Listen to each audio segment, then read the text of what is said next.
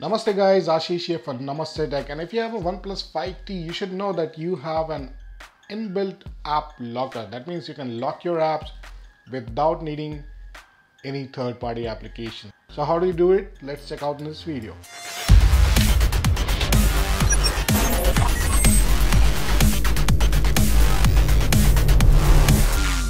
So the first thing you should know is have your fingerprint configured and have your lock screen configured. Go to settings, then scroll to security and lock screen. Tap on this. And then you have something called as app locker. I'm going to tap on this. Now the first time you arrive here it will ask you to set up a pin. It could be different from your lock screen but you need to have a pin. So I'm going to just set up the pin.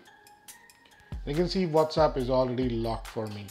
And here I can choose to hide notification from these apps or not whatever you want and then you can manually add app here and it supports all the apps. So I'm going to lock my Amazon Alexa app, go back and you can see it easily and quickly adds apps.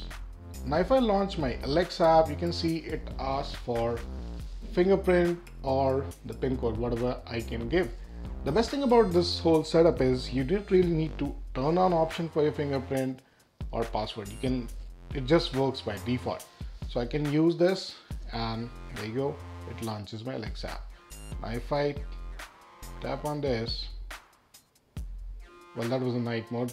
If I come back it doesn't ask me for fingerprint password again. The reason is unless I lock my phone and come back here it will not ask for the password. That's how it works.